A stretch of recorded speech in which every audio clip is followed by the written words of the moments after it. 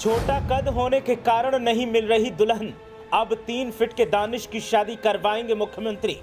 UP के इस लड़के ने लगाई अनोखी गुहार तो अचानक आ गया चर्चाओं में। अजीम मंसूरी तो निकाह करके निकल लिए लेकिन अब नए कुंवारे ने बढ़ा दी पुलिस की परेशानी। बोले, दानिश, मुझे पेंशन दिलवाओ, फिर शादी करवाओ। दुल्हन के बिना मैं तड़प तड़प कर मर जाऊँगा। आपको ढाई फीट के अजीम मंसूरी तो याद ही होंगे।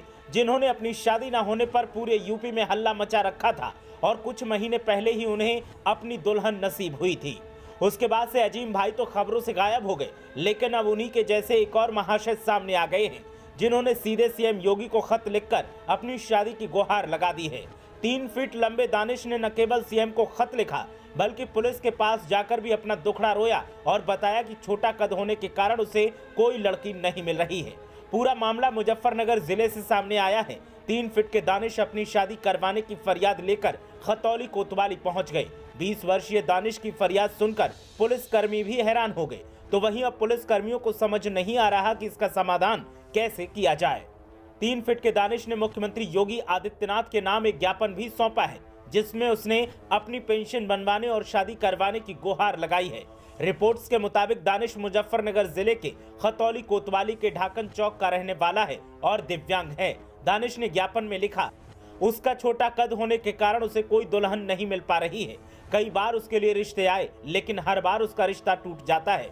मैं अपने चार भाई बहनों में सबसे छोटा हूँ और ढाकन चौक पर एक कपड़े की दुकान चलाता हूँ। दानिश की माने तो वो इस बार अपने वार्ड नंबर 9 से सभासदी का चुनाव भी लड़ना चाहते हैं। इस मामले में जब ज़िले के आला अधिकारियों से बात की गई तो उन्होंने चुप्पी साध ली।